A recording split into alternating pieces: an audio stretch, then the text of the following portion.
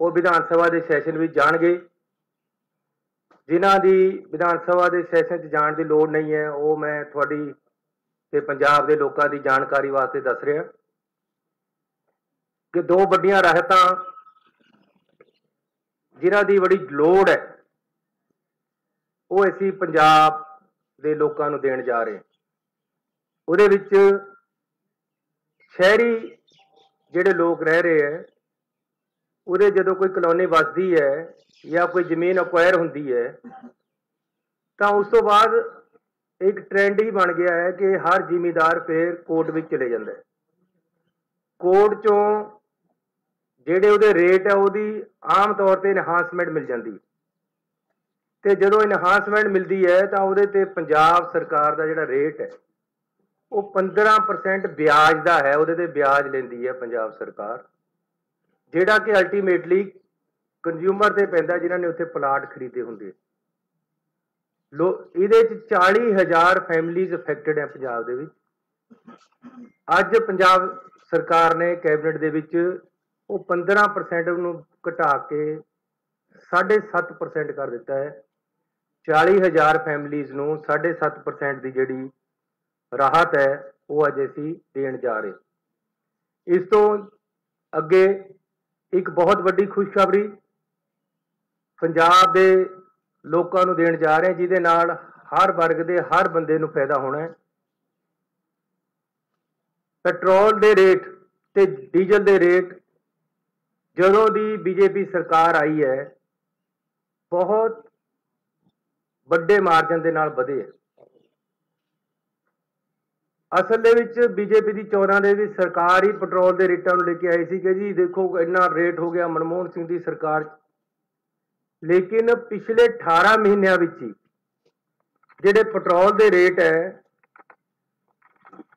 ਉਹ ਕਾ, ਡੀਜ਼ਲ ਦਾ ਰੇਟ 61 ਰੁਪਏ ਤੋਂ 98 ਰੁਪਏ ਹੋ ਗਿਆ ਹੈ ਪਿਛਲੇ ਸਿਰਫ 18 ਮਹੀਨਿਆਂ ਦੇ ਵਿੱਚ। ਸੋ ਇਸ ਤਰੀਕੇ ਦੇ ਨਾਲ ਪੰਜਾਬ ਔਰ ਦੇਸ਼ ਦੇ ਲੋਕਾਂ ਦੀ ਲੁੱਟ ਕੀਤੀ ਗਈ ਹੈ, ਜਿਹੜੀ ਪਹਿਲਾਂ ਕਦੇ ਨਹੀਂ ਸੀ। 70 ਸਾਲਾਂ 'ਚ ਤਾਂ 60 70 ਰੁਪਏ 60 ਰੁਪਏ ਪਰ ਰੇਟ ਆਇਆ। ਤੇ 7 ਸਾਲਾਂ ਦੇ ਵਿੱਚ ਚੱਲ ਕੇ 95 ਰੁਪਏ ਪਰ ਚਲੇ ਗਿਆ। 104 ਰੁਪਏ ਤੱਕ ਚਲੇ ਗਿਆ। ਕੋਈ ਕੰਟਰੋਲ ਨਹੀਂ ਰਿਹਾ ਬੀਜੇਪੀ ਸਰਕਾਰ ਦਾ। ਇਹਨਾਂ ਨੇ ਪੂਰੇ ਦੇਸ਼ ਦੇ ਲੋਕਾਂ ਨੂੰ ਬੁਰੀ ਤਰ੍ਹਾਂ ਲੁੱਟਿਆ। ਹੁਣ ਰੇਟ ਪਹਿਲਾਂ 30 ਰੁਪਏ ਵਧਾ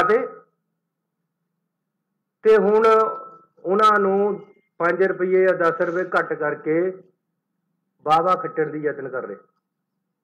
ਮੈਂ ਤੁਹਾਨੂੰ ਇਹ ਵੀ ਦੱਸਣਾ ਚਾਹੁੰਦਾ ਹਾਂ ਕਿ ਜਿਹੜਾ ਰੇਟ ਘਟਾਇਆ ਗਿਆ ਹੈ, ਉਹ ਐਕਸਾਈਜ਼ ਡਿਊਟੀ ਘਟਾਈ ਗਈ ਹੈ। ਉਹਦੇ ਵਿੱਚ 42% ਸ਼ੇਅਰ ਸਟੇਟਾਂ ਦਾ ਹੁੰਦਾ ਹੈ। ਉਹ ਜਿਹੜਾ ਪੈਸਾ ਹੈ, ਉਹਦੇ ਚੋਂ 42% ਸ਼ੇਅਰ ਪੰਜਾਬ ਸਰਕਾਰ ਨੂੰ ਵੀ ਆਉਣਾ ਹੁੰਦਾ ਹੈ। ਤੇ ਜਦ ਉਹ ਘਟਦਾ ਹੈ, ਤਾਂ ਸਾਡਾ ਵੀ 42% ਘਟ ਜਾਂਦਾ ਹੈ। ਇਹ ਰੇਟ ਸਾਡੇ ਸਿਰ ਤੇ ਘਟਾਏ ਗਏ ਹੈ। ਲੇਕਿਨ ਪੰਜਾਬ ਦੇ ਫਾਈਨਾਂਸ ਮਿਨਿਸਟਰ ਸਾਹਿਬ ਦਾ ਮੈਂ ਧੰਨਵਾਦੀ ਹਾਂ। ਪੰਜਾਬ ਸਰਕਾਰ ਨੇ ਅੱਜ ਵੱਡਾ ਫੈਸਲਾ ਲੈ ਕੇ ਪੈਟਰੋਲ ਦੇ ਰੇਟ ਅਸੀਂ 10 ਰੁਪਏ ਘੱਟ ਕਰ ਰਹੇ ਹਾਂ, ਅੱਜ ਹੀ ਰਾਤ ਤੋਂ 10 ਰੁਪਏ 5 ਰੁਪਏ ਡੀਜ਼ਲ ਦੇ ਰੇਟ ਅੱਜ ਤੋਂ ਹੀ ਰਾਤ ਤੋਂ ਅਸੀਂ ਘੱਟ ਕਰ ਦਾਂਗੇ। ਜਿਹੜਾ ਕਿ ਪਿਛਲੇ 70 ਸਾਲਾਂ ਦੇ ਵਿੱਚ ਕਦੇ ਮੈਂ ਸੁਣਿਆ ਨਹੀਂ ਕਿ ਇੰਨਾ ਰੇਟ ਵੀ ਕਦੇ ਘਟਿਆ ਹੋਵੇ ਜਾਂ ਕਦੇ ਇੰਨਾ ਰੇਟ ਵਧਿਆ ਹੋਵੇ।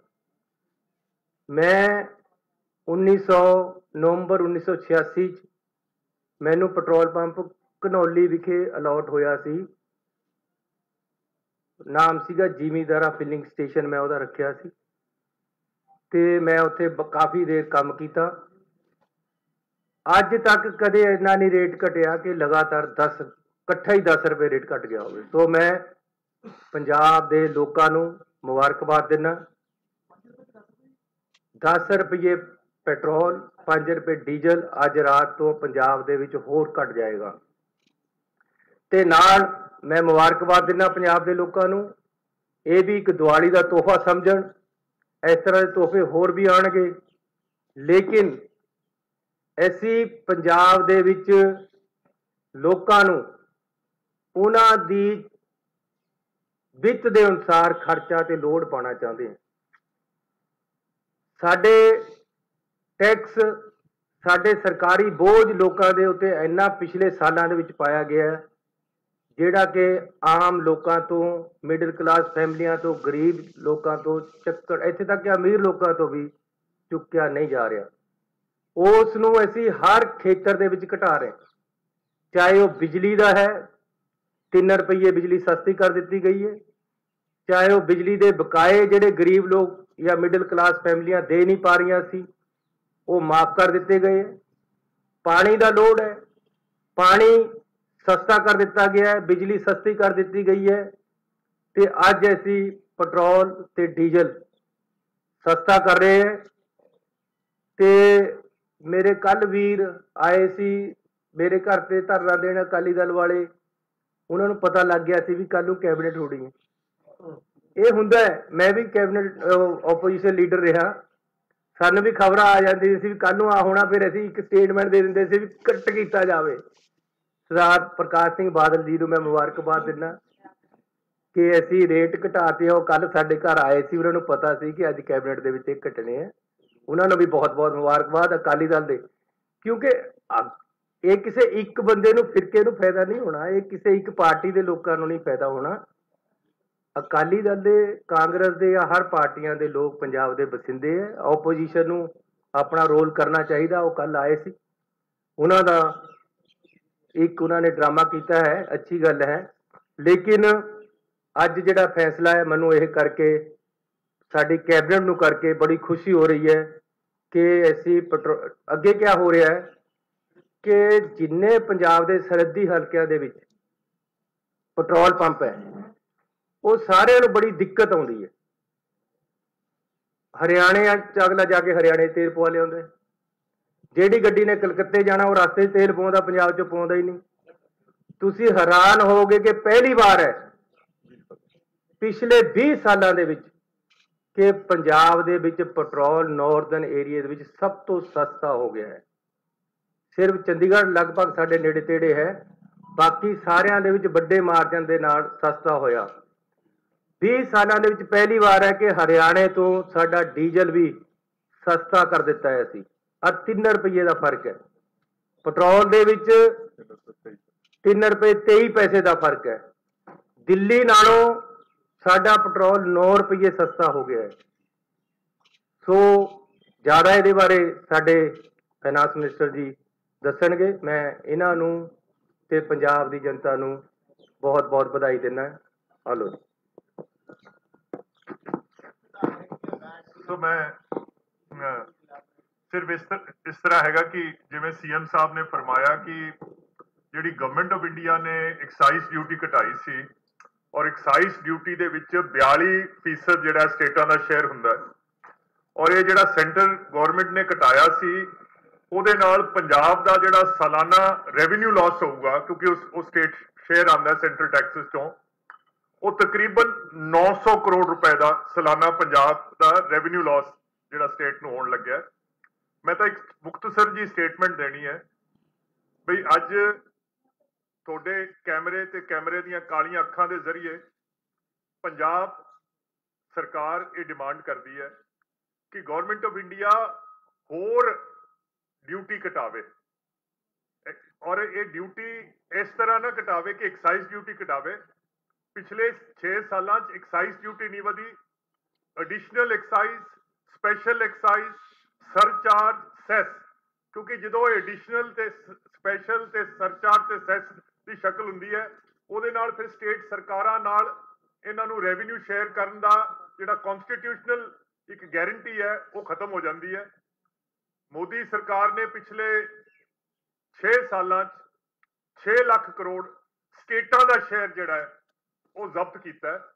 ਔਰ ਮੈਂ ਇੱਕ ਸਾਦਾ ਜਿਹਾ ਸਵਾਲ ਪੁੱਛਦਾ ਹੈ ਪੰਜਾਬ ਦੀ ਪ੍ਰੈਸ ਨੂੰ ਕਿ ਸੈਂਟਰ ਦੇ ਥੱਲੇ ਕਿੰਨੇ ਲੋਕ ਆਬਾਦ ਹੈ, ਕਿੰਨੇ ਖਾਨਦਾਨ ਆਬਾਦ ਹੈ? ਬਹੁਤ ਥੋੜੇ ਸਟੇਟਾਂ ਦੇ ਥੱਲੇ ਕਿੰਨੇ ਆਬਾਦ ਹੈ? ਤਕਰੀਬਨ ਸਾਰੇ। ਔਰ ਸਟੇਟਾਂ ਦੀਆਂ ਜ਼ਿੰਮੇਵਾਰੀਆਂ ਕੀ ਹੈ? ਜਿੰਨੇ ਲੋਕ ਭਲਾਈ ਦੇ ਕੰਮ ਕਰਨੇ ਹੈ, ਉਹ ਸਟੇਟਾਂ ਦੀਆਂ ਸਰਕਾਰਾਂ ਨੇ ਕਰਨੇ ਹੈ। ਐਜੂਕੇਸ਼ਨ ਅਸੀਂ ਦੇਣੀ ਹੈ ਹੈਲਥ ਅਸੀਂ ਦੇਣੀ ਹੈ, ਪੁਲਿਸ ਦਾ ਬੰਦੋਬਸਤ ਅਸੀਂ ਕਰਨਾ ਹੈ, ਜੇਲ੍ਹਾਂ ਅਸੀਂ ਚਲਾਉਣੀਆਂ ਹੈ, ਬਿਜਲੀ ਅਸੀਂ ਬਣਾਉਣੀ ਹੈ, ਨਹਿਰਾਂ ਅਸੀਂ ਚਲਾਉਣੀਆਂ ਬੁਢਾਪਾ ਪੈਨਸ਼ਨ ਅਸੀਂ ਦੇਣੀ ਹੈ। ਹਰੇਕ ਲੋਕ ਭਲਾਈ ਦਾ ਕੰਮ ਜਿਹੜਾ ਹੈ, ਉਹ ਸਟੇਟ ਸਰਕਾਰ ਦੀ ਜ਼ਿੰਮੇਵਾਰੀ ਹੈ।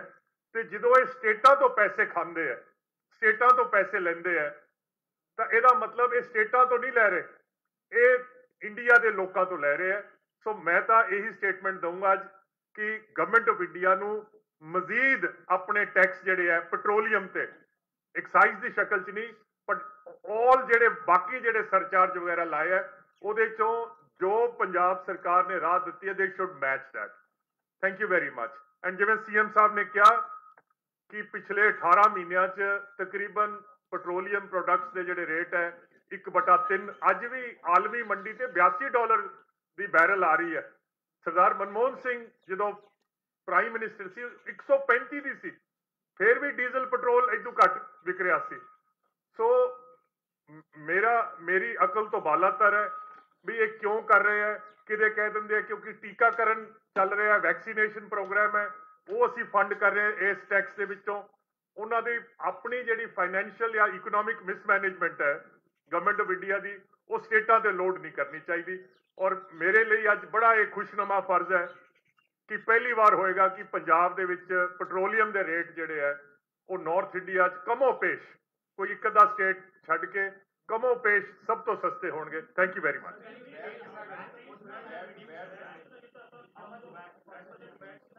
sir VAT ਜਿਹੜੀ ਹੈ ਇਹਦੀ ਕੈਲਕੂਲੇਸ਼ਨ ਕਰ ਲਓ 10 ਰੁਪਏ ਦੇ ਹਿਸਾਬ ਨਾਲ ਜਿਹੜੀ ਹੈ।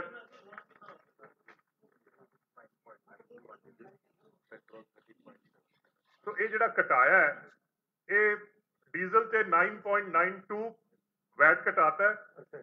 ਪਰਸੈਂਟ ਐਂਡ ਐਂਡ ਜਿਹੜਾ ਪੈਟਰੋਲ ਹੈ ਇਹ 13.77 ਰਹਿ ਜਾਊਗਾ effectively VAT on diesel will be 9.92 and petrol will be 13.77 effective midnight tonight ਅੱਜ 12 ਵਜੇ ਤੋਂ ਥੈਂਕ ਯੂ ਕਿੰਨਾ ਕਿੰਨਾ ਕੁ ਮੰਤਰੀ ਜੀ ਕਿੰਨਾ ਲੋਡ ਪਏਗਾ ਖਜ਼ਾਨੇ ਦੇ ਉੱਤੇ ਜਿਹੜਾ ਜਿਹੜਾ ਇਹ ਅੱਜ ਘਟਾਇਆ ਇਸ ਤੋਂ ਇਲਾਵਾ ਕਿੰਨਾ ਲੋਡ ਪਏਗਾ ਤਕਰੀਬਨ ਤਕਰੀਬਨ ਤਕਰੀਬਨ ਇਹ ਕੋਈ 6000 ਕਰੋੜ ਰੁਪਏ ਜਿਹੜਾ ਹੈ ਇਸ ਨਾਲ ਸਾਡੀ ਵੈਟ ਰੈਵਨਿਊ ਜਿਹੜੀ ਹੈ ਮੁਤਾਸਰ ਹੋਏਗੀ ਸਾਲਾਨਾ।